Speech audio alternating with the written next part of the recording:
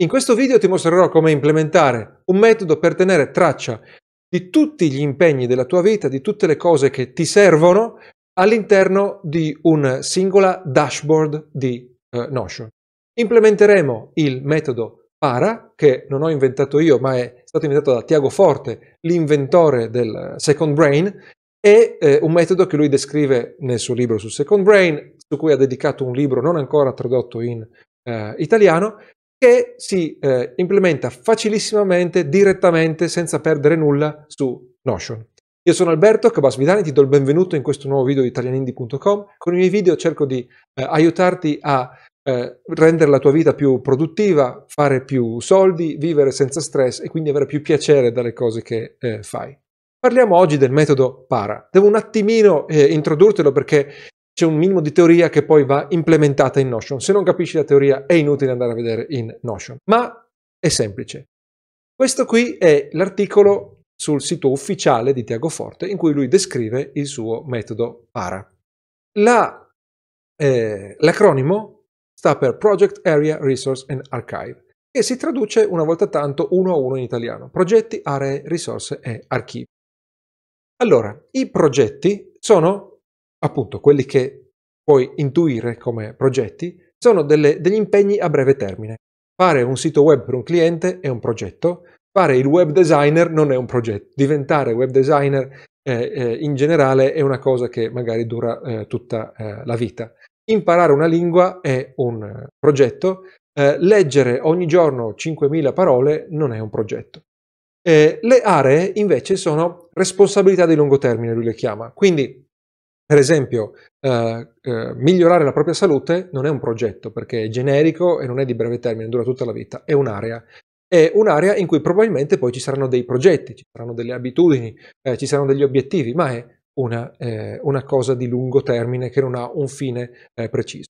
Le risorse sono tutte quelle cose, i materiali, le idee, eh, le liste, i tool che ti possono servire per eh, lavorare ai tuoi progetti, lavorare all'interno delle tue aree. Per esempio le note sui libri che leggi, le liste eh, della spesa.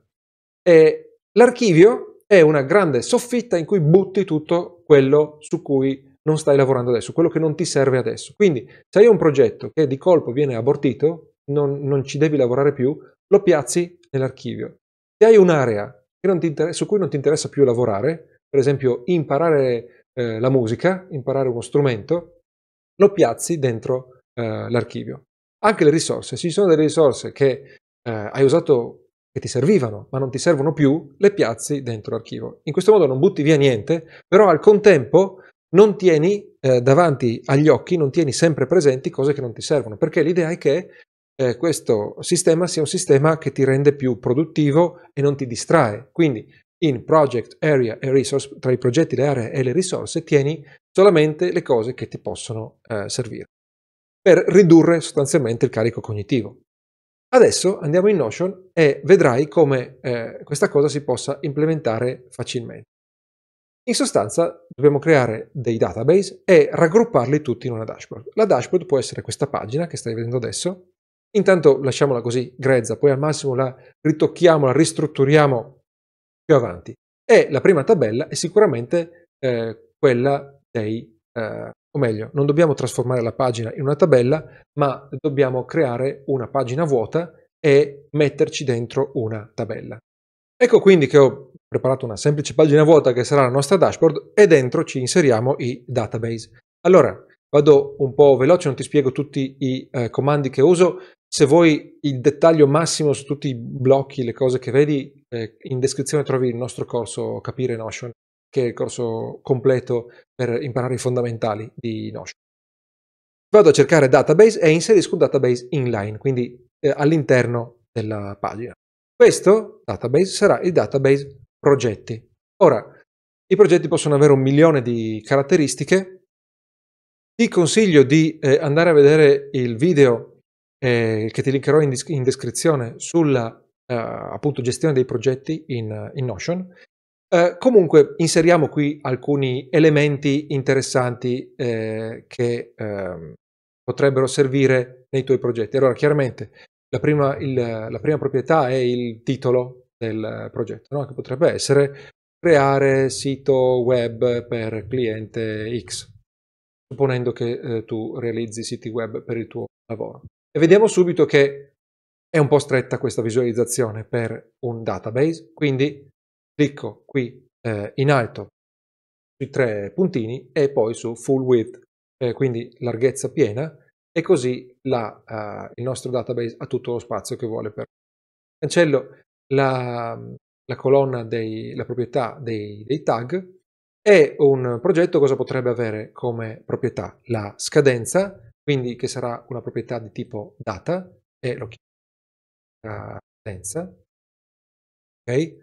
Eh, poi potrebbe avere un, eh, una persona eh, a cui eh, per esempio collaboratore o un cliente eh, che eh, vorrà vedere o collaborare appunto con questo progetto.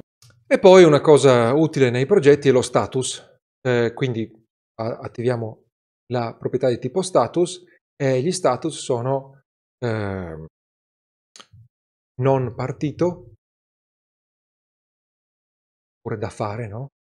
Eh, poi in corso e poi finito.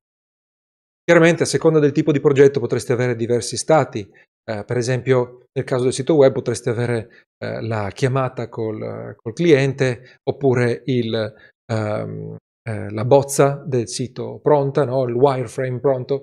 Attenzione che se vuoi usare un unico contenitore per tutti i progetti devono avere degli status condivisibili, siccome si parla anche di progetti che fanno parte della tua vita, eh, probabilmente non, non, la vita non ha eh, uno status, non ha gli stessi status che può avere un eh, progetto di creazione siti web.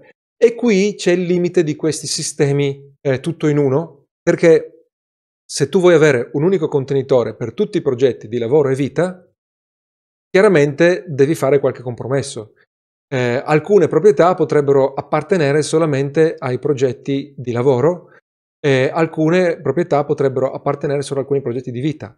Quindi nel momento in cui ti trovi a dover differenziare le cose, rischi eh, di fare confusione e di perdere quella linearità eh, che ti fa adottare un sistema eh, uniforme. Una soluzione potrebbe essere all'interno di progetti usare più database uno per, per esempio i progetti nella vita e uno per i progetti eh, come professionista, oppure se hai più eh, se hai più tipologie di progetti, potresti usare un database per ogni tipologia di progetto. Chiaramente capisci che questo comincia a eh, complicarsi.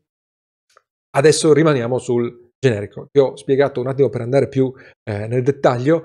Intanto supponiamo che la tua vita sia più semplice e che tu possa avere uh, dei progetti con pochi status, come, come vedi qua, e eh, quindi poter usare un singolo database per tutti i eh, progetti. Poi potresti aver bisogno di altre ehm, proprietà, come per esempio la data di partenza, quindi un'altra, un'altra data e qui mettiamo inizio, chiamiamo inizio. Ok. Eh, oppure mm, eventualmente la priorità, se usi diversi livelli di priorità. Fermiamoci qui. Eh, trovi tutte le proprietà che ti servono per descrivere i tuoi progetti. Poi, se vedi il video sulla gestione dei progetti che trovi eh, linkato in eh, descrizione, per esempio, potresti linkare un database di task per ciascuno eh, di questi progetti, eh, a seconda di quanto vuoi complicare le, le cose. Ora, eh, lasciamo qui dentro un solo progetto per, per il momento. Questi progetti dovranno finire eh, all'interno delle tue aree. Quindi aggiungiamo un database sempre inline e lo eh, chiamiamo aree. Ok? Qui mettiamo in italiano nome, i tag non ci interessano e quindi cancelliamo questa proprietà. Ok? Queste aree sono spazi più generici, non ci saranno tanti elementi dentro questo eh, database e saranno eh, per esempio famiglia, lavoro, salute, eh, chiamiamo volontariato per esempio. Ecco, lasciamoli, lasciamo questi quattro.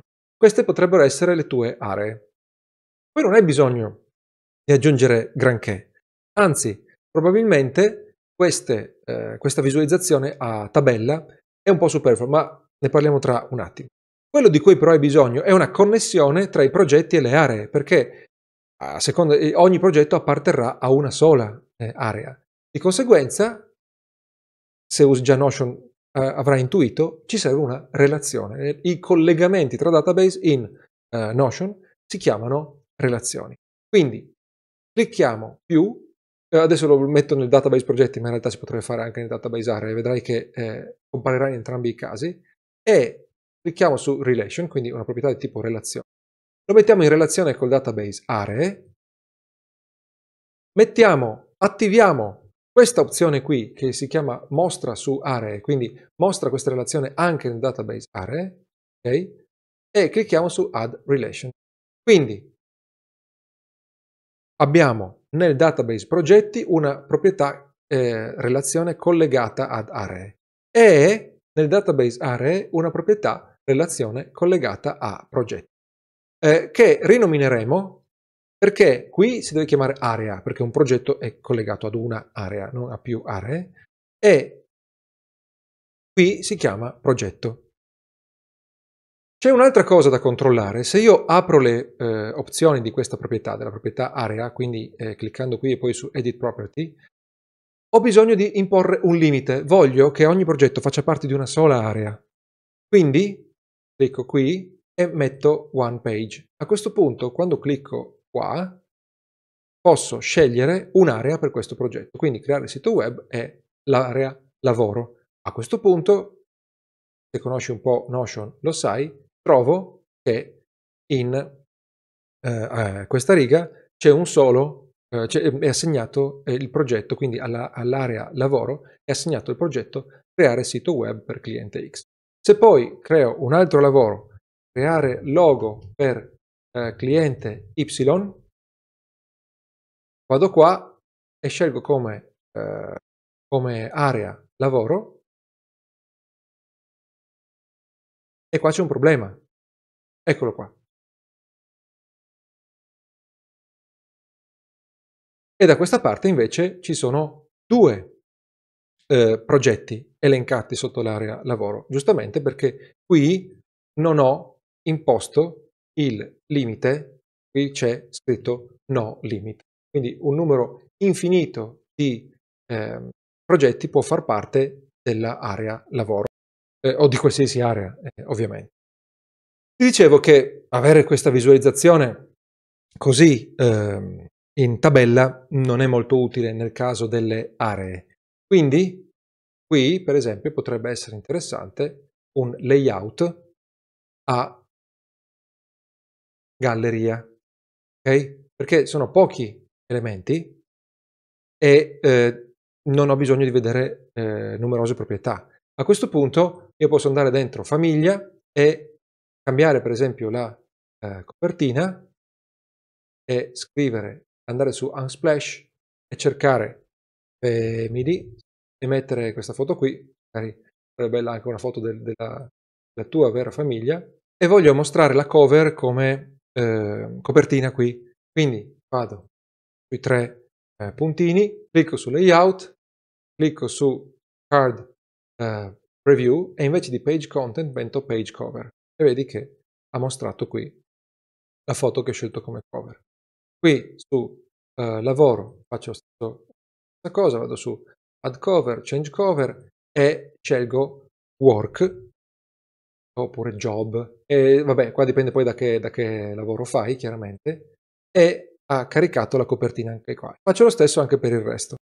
Di solito non mi soffermo su questi dettagli estetici, ma in questo caso, siccome stai creando un colpo d'occhio, una eh, dashboard che avrà tante cose dentro, ha senso soffermarsi un attimino. E tra l'altro poi eh, i titoli dei database, che vedi qui e qui, portano via un po' di spazio. Una cosa bella da fare è nascondere il database e usare invece il titolo della eh, view e quindi chiamare questa view progetti e quest'altra invece chiamarla aree, ok? E quindi vedi eh, lo stesso il titolo, o altrimenti scrivo tutto maiuscolo per renderlo più leggibile.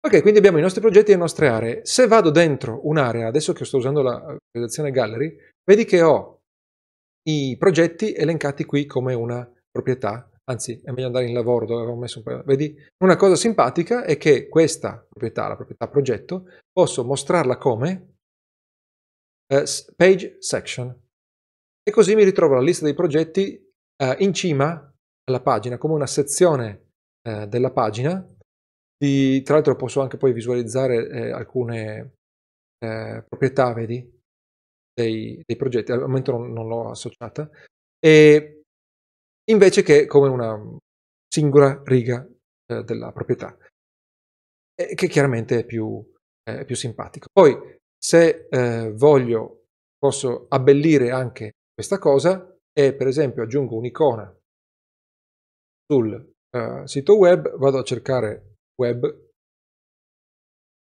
vediamo questa, se torno su lavoro vedi che la pagina eh, creare sito web ha a sinistra l'icona che ho scelto. Ok, ho creato le aree. Adesso qual è la uh, prossima, uh, la prossima uh, lettera nell'acronimo? La prossima lettera è risorse. Qui la situazione può eh, diventare un po' complessa perché devi eh, inserire, eh, ci, le risorse possono essere di tutto, possono essere, eh, come ti dicevo, la lista della spesa, ah, può essere una lista di libri che ti piacciono, può essere il database delle note eh, o dei, degli articoli che catturi dal web. Come fai a modellare tutte queste cose all'interno di un database? Perché innanzitutto ci serve un database, un altro database e lo mettiamo eh, inline visto che ci siamo, nascondiamo il titolo e rinominiamo la view come risorse. Okay? Il discorso è, almeno questa soluzione l'ho trovata su, sul web e in realtà la, l'ho, l'ho, usata anch'io prima di trovarla sul web, eh, crei un database in cui cominci a salvare le risorse che ti servono. Man mano che si formano nuove esigenze, aggiungi nuove proprietà. Poi, a seconda del tipo di risorsa, alcune proprietà le userai e altre no. Cosa intendo? Allora, il nome rimarrà il nome, qua non, eh, non ci casca. Poi crei un, una proprietà di tipo select, non multiselect, e la chiami tipo, e questa ti indicherà di che tipo è la eh, risorsa.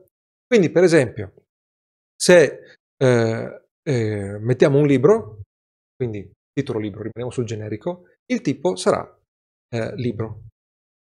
Se mettiamo un eh, articolo scientifico, quindi titolo articolo scientifico, non vado a inventarmi il nome di un articolo scientifico, il tipo sarà articolo scientifico. Eh, poi ci sarà eh, magari un eh, articolo blog, eh, titolo articolo blog, qui metterai il titolo dell'articolo di un blog e qui metterai il tipo blog.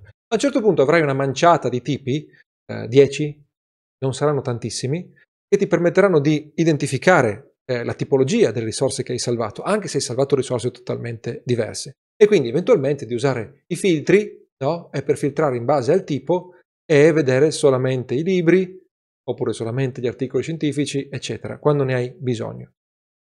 Poi, una cosa obbligatoria è una relazione, una relation, quindi una proprietà che mette in relazione questo database con i progetti, perché ogni progetto avrà bisogno di alcune risorse. Quindi eh, lo mostro anche in progetti è la stessa procedura che ho fatto di là. Quindi adesso eh, eh, aggiungo la relazione, qui in ehm, risorse è comparsa la relazione progetti e poi se eh, salgo pagina, in progetti è comparsa la relazione untitled database eh, che sarebbe risorse. Qui non devo mettere il limite eh, di 1 perché effettivamente potrebbe capitare che lo stesso articolo di un blog mi serva in più progetti e che chiaramente un progetto avrà bisogno di più eh, risorse. Poi, mh, volendo, potresti eh, associare eh, collegare anche le risorse alle aree, oppure avere le eh, risorse associate ai progetti e poi risalire all'area da, dal, dal, progetto. Eh, così non devi associare eh, due cose separate. Quindi quando crei una risorsa la associ ad un progetto, oppure quando una risorsa ti serve in un progetto eh, la associ al, al progetto stesso, ma non devi anche pensare a mettere l'area. In ogni caso, grazie alla magia delle relazioni e dei roll-up, eh, in Notion possiamo automatizzare questo passaggio. Magari non ti è indispensabile sapere a quale area appartiene un, eh, un, una risorsa, però volendo tu puoi fare questa cosa qui. Puoi andare a creare un roll-up qui, quindi una proprietà di tipo roll-up, ok, eccola qui. Poi eh, andiamo a selezionare quale relazione, a quale relazione questo roll-up si applica. Sostanzialmente i roll-up sono delle formule che applichi alle relazioni. Lo applico all'unica relazione presente, progetti, e cosa faccio? Estraggo, eh, la applico ad una proprietà che si chiama area, quindi applico il roll-up sulla relazione ai progetti ed e alla proprietà dal database progetti che si chiama area e come formula semplicemente mostro l'originale. Quindi, attenzione, chiamiamola area, questa proprietà ovviamente. Quindi, se io per esempio ho un libro che mi serve, eh, eh, che si intitola Come eh, progettare siti web, ed è un libro, ok? Mi servirà nel progetto creare il sito web. Quindi ci associo il sito web. E di colpo qui mi è comparsa l'area a cui appartiene il progetto creare sito web. E questo è il bello di usare Notion quando cominci a piazzare dentro i roll-up e le formule, puoi fare eh, cose abbastanza fantascientifiche. E questo per quanto riguarda le risorse. Poi potresti avere bisogno di altre proprietà, come ti dicevo un attimo fa. Eh, del libro potresti aver bisogno di una proprietà di tipo testo che è il nome dell'autore, che potrebbe poi essere interessante anche per l'articolo scientifico. A quel punto sarebbe autori per uh, sicurezza. Eh, potresti avere bisogno della data di pubblicazione. Ok? Potresti aver bisogno di una eh, checkbox in cui ti, eh, che ti dice se l'hai già riassunto, perché la, il modo migliore per assorbire la conoscenza è riassumere le fonti. E allora aggiungi una checkbox che ti dirà se hai riassunto. Potresti avere bisogno di uno status che ti dice se eh, l'hai, l'hai, già completato oppure se invece sei ancora eh, in corso di lettura. Adesso non vado a mettere tutte le proprietà, il discorso è che tu aggiungi le proprietà che ti servono man mano e poi magari la proprietà data di pubblicazione eh, ti interesserà per l'articolo scientifico non ti interesserà per il libro o per un film eh, che aggiungi. O magari qui nelle risorse vorrai inserire la lista della spesa perché ti serve per un progetto, la lista di, degli acquisti da fare, che non c'entra niente con eh, i libri o le altre risorse. Però eh, ehm, ha senso se vuoi eh, razionalizzare il tutto e tenere tutto in un singolo database. Sostanzialmente quando, ti ripeto, vuoi usare questi sistemi tutto in uno, devi sempre scendere a compromessi.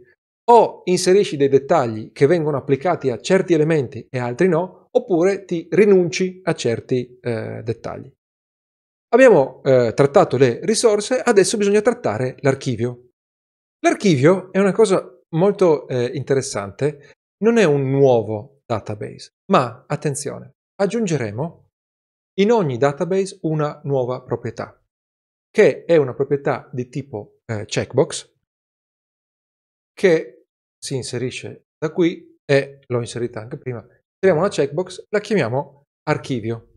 In sostanza, quando eh, spuntiamo questo archivio, questa proprietà, ehm, l'elemento andrà archiviato, altrimenti è un elemento attivo e in ogni eh, in ognuna di questi, di questi database andremo a inserire un filtro in cui eh, andiamo a filtrare in base a archivio e mostriamo solamente le attività unchecked, quindi quelle non archiviate. Quindi nel momento in cui finisco, per esempio, questo eh, progetto, clicchio su archivio, lui sparisce perché eh, l'ho eh, finito.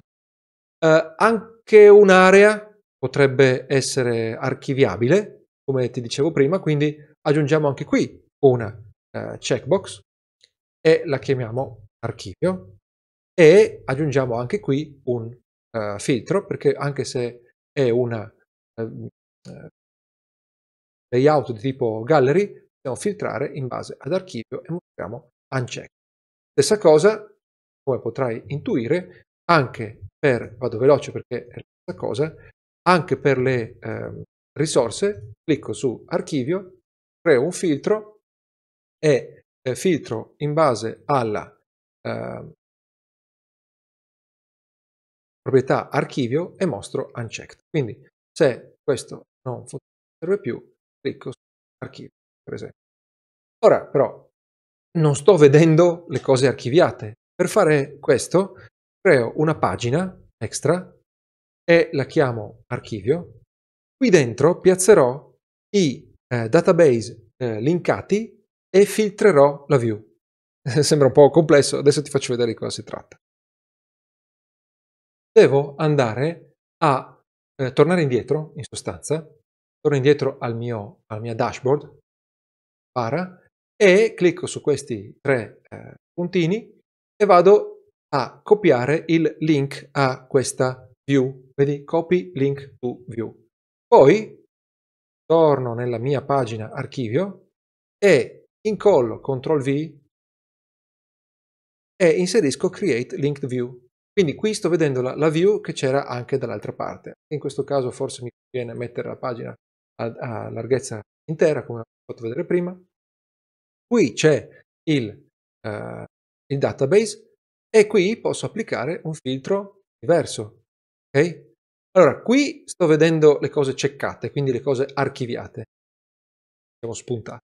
Qui invece sto vedendo le cose non spuntate, vedi che qui non c'è. E la stessa cosa la faccio per il resto, quindi faccio rivedere così ti abitui. Clicco sui tre puntini, clicco su Copy Link to View, vado su eh, Archivio, qui sotto incollo eh, il link, clicco sulla prima opzione, vado sul filtro, cambio e metto checked. Quindi qui si vedono solamente le aree archiviate. Poi vado giù e risorse, di nuovo copio il link alla view, vado dentro archivio, incollo, creo una view uh, linkata, mi ha perso la opzione, ecco qua, e vado a cambiare il filtro archivio checked. Quindi qui vedo solamente le eh, risorse archiviate. Questo è il metodo para. Ora, volendo, potrei andare un attimo a abbellirlo, per esempio eh, disponendo le cose su colonne, ma quello dipende un pochino da, dai tuoi gusti. Eh, ho creato un video apposito per eh, rendere più estetiche le tue pagine eh, su eh, Notion che eh, trovi linkato eh, qua sopra e eh, quindi puoi applicare le lezioni da quel video qui se vuoi rendere più bella la tua dashboard di, del metodo para. Puoi trovare il template di questo che hai visto in questo video cliccando in descrizione, lo potrai scaricare gratuitamente inserendo la tua email se hai qualsiasi domanda mettila nei commenti e soprattutto se il video ti è stato utile ricordati di cliccare mi piace, di iscriverti al canale così non perderai i prossimi video, eh, algoritmo permettendo. Ci vediamo al prossimo video. Ciao!